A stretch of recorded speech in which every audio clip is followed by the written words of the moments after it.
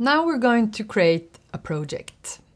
Here again, Toolbox and the Projects tab. You see the briefcase here, which you also find up here in the navigation bar where you have the advanced search for projects. But now we keep to the Toolbox and the briefcase. And here you see all projects that are existing in the system. To create a new one, you will go up here on the left corner. We have a little drop-down menu click there. And then you click here new project. And the project window opens up. And it's all empty because there is there isn't anything in the project yet. We haven't done any bookings or anything. So what you start with is that you give your project a name. Now I'm just going to call it the post job. Job. The project will get a project number if you have divisions, you can select the division. And then the important thing is that you always need to connect the project to a client that you would already have in your database, in contacts, contacts you have up there.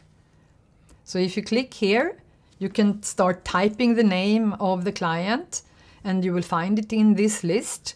Or if it is a new client, you can click here to create a new client and it takes you to the client window. This is the personal contact here and out here you will have the company name.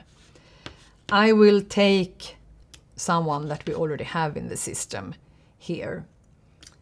Uh, we will take, uh, let's see here, who we will take? Maya, for Maya Pix. If you would have had an ID for the client, the number would come up here, and here you also have the email.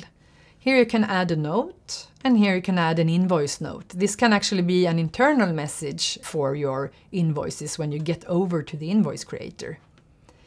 So this part here, the upper left corner is hard coded, it's always there. But down here is the customized fields. If you would start a new, this would be empty.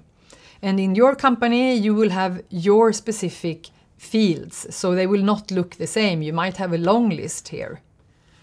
But in our demo database, these are the fields that we have. So the first one here is called project type, and it's like a list, so you can select from a list. Here you have a field called agency, and this is also related to your contacts. So you could just select somebody there, etc., etc. You can have date fields and say when is this going to air there, for example. So these are fields to give you general information about your project. And they are also very good because you can search uh, on these fields. And to conclude the creation of your project, you will just click OK. And then you will find it here in your toolbox again among your projects.